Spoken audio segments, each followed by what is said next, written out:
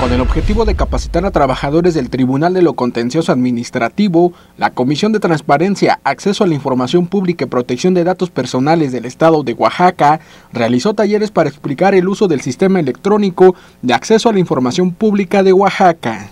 Ante esto, el consejero presidente de la Cotaipo, Esteban López José, detalló que este curso es en respuesta a que hace unas semanas el tribunal capacitó a trabajadores de la comisión ante la necesidad de seguir ofreciendo a la ciudadanía el acceso a la información pública.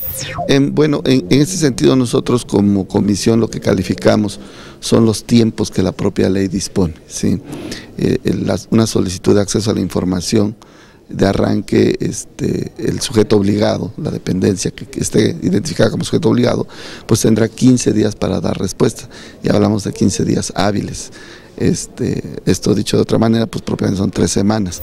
Esteban López señaló que para el próximo año se reformará la Ley Federal de Transparencia y Acceso a la Información Pública, en donde se pretende disminuir los 15 días hábiles a 10 o menos para dar una respuesta inmediata. Ley general que viene en futuro, en tanto se apruebe la Ley Federal de Transparencia, es que se acoten tiempos y se uniformen a nivel nacional, porque hay estados donde hay acotamientos en tiempos, hay estados donde todavía son más largos sus tiempos.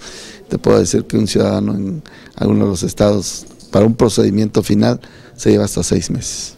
Con imágenes de Antonio Coronel informó para MBM Televisión, Irán Sánchez.